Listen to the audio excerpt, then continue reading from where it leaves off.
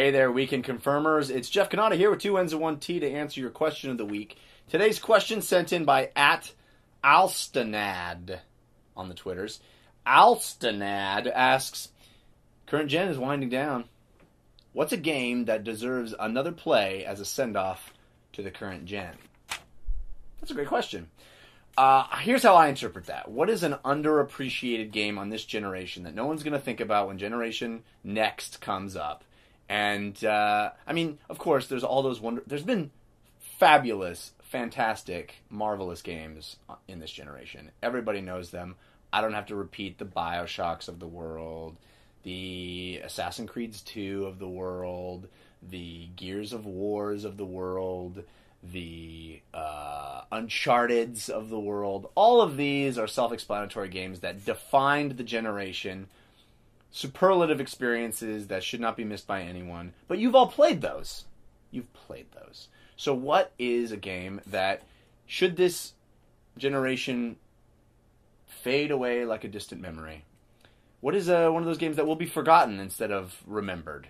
And I submit, you've probably heard me uh, mention this game on the podcast before. I submit Sacred 2 is a game that far too few people played. It is a fantastic role playing game, huge, expansive, fun, full of whimsy, full of action, great character classes and customization, a gigantic, interesting world in isometric perspective, which is one of my favorite ways to play role playing games. Awesome game teensy weensy bit buggy, but I understand that they put out a patch after I had played it all the way through that um, fixed a lot of that. So it was for 360. Also, thinking about the end of a console generation, it, it made me go back and think about the games that I loved at the beginning of the console generation. The very first game I loved of this generation, it should be said, Geometry Wars. Remember when that game ruled the roost and everybody was talking about it and your high scores meant something and there was like a sequel and everybody was clamoring for it and whoa whoa whoa?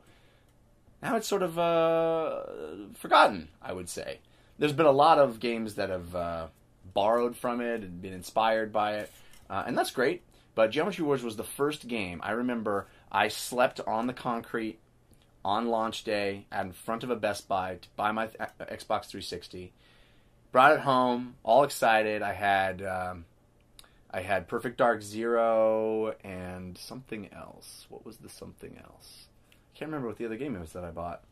Um, Gears? No, it wasn't out. It wasn't a launch game. Oh no, it was uh, Call of Duty Two. Ah, Call of Duty Two, uh, which was awesome. Um, and uh, and really the game that I kept playing over and over and over was Geometry Wars, and I was so excited. It was that fun beginning of a, a generation where we didn't really have downloadable games before, and all of a sudden now there were downloadable games, and every week I was excited about what the new XBLA game was going to be that was going to come out, and I would be able to download on my Xbox.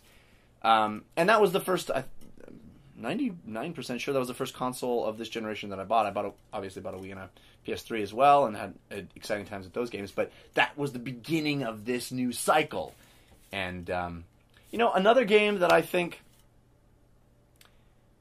I probably, if I played it now, would not think as highly of it as I did then. But looking back on it, I don't think it deserves the low opinion that it seems to have among the general public, and that is Kameo.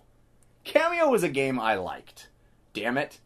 And uh, I always wish they made a sequel and improved upon that game. I had a good time with Kameo. Um, I bet majority of the people listening to this didn't even play it. Uh, but it was it was a lot of fun. It was cool. You could like steal powers from enemies. It was a, a true platformer back when platformers were, were a thing. Remember that? Um, yeah. So this generation, obviously, the top tier marquee games that we're always going to remember, we're always going to look back on uh, with fondness. But there are plenty of those games that seep through the cracks. I would love to find out what yours are. Maybe comment on this video and let me know. Uh, until next week. See you then. Irony with that same sense of humor. And, uh, and swordplay, maybe the combat mechanics received in Assassin's Creed 3, and uh, an awesome traversal and faring and all that stuff. So it's third person action.